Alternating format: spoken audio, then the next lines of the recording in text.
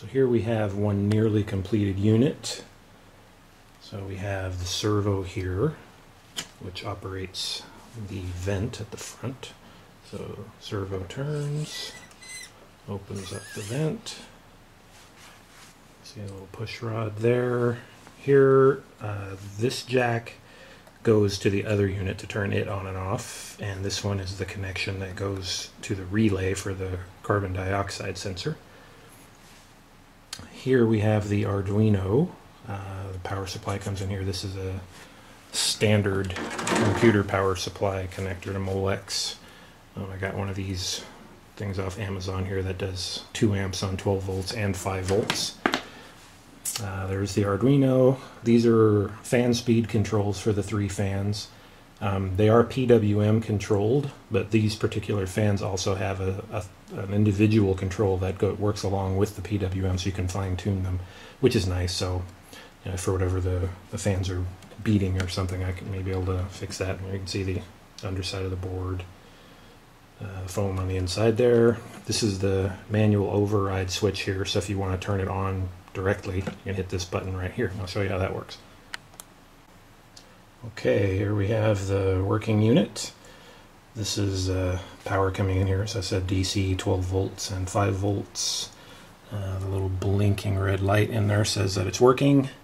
So this is the manual override here. So when I press this button, the fans will go on high speed. Press it again, they go to medium. Press it again, they go to low. One more time, they turn off. And this is when you're not using the relay. If you have the relay running, and of course, just carbon dioxide will set it off. Okay, so here we'll hit the button. Door opens up, fans are on high. Hit it again, go to medium. Again, low. And off. Door closes. But here's where it really comes into its own.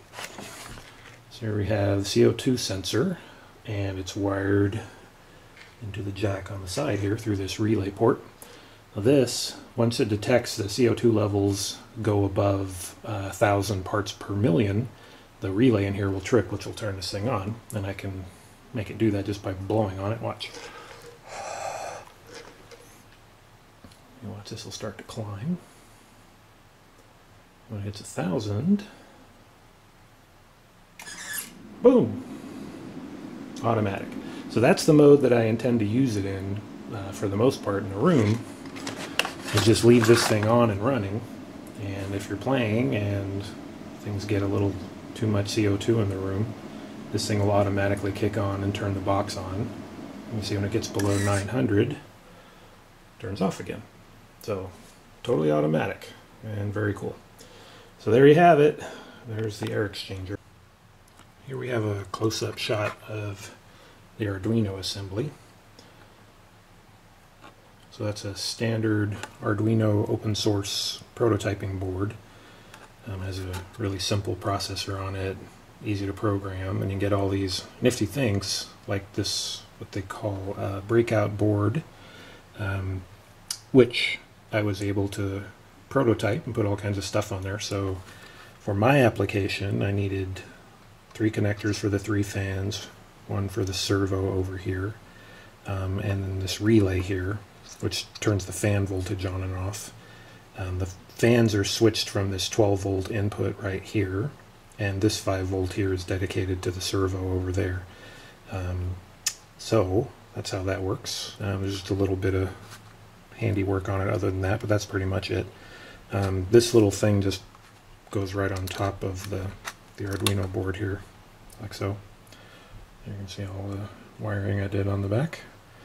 So that's it. It's pretty simple. These things are dirt cheap. You can get them for 10 or $20, I think, and these shields are what they're called. These breakout cards are not very much money, either $10 or something. So all the parts here together are 20 $25 or something. It's not very much. Standard hard drive power supply.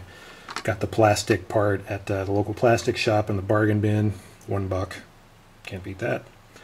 Uh, so there you go. That's how you build a little controller, you know, and you can use these to do just about anything. Because they have lots of digital I/O, um, pulse width modulated I/Os for the fans and the servo, uh, analog inputs for sensing things. So very very handy. So check them out if you're into that kind of stuff.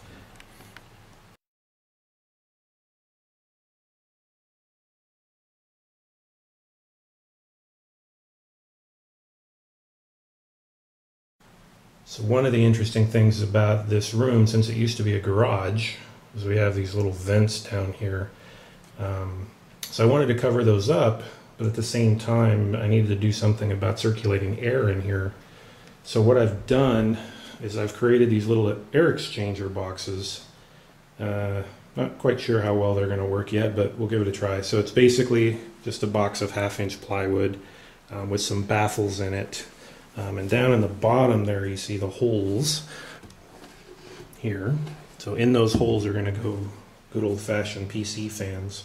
Um, I've got a little microcontroller for it and everything. I'll, I'll do an update once those are done. But the idea is that thing's going to cover up that hole there, and it'll have a piece of wood covering up the front of it eventually with a vent on the top. So when you need to get fresh air in here, um, you can circulate some air through.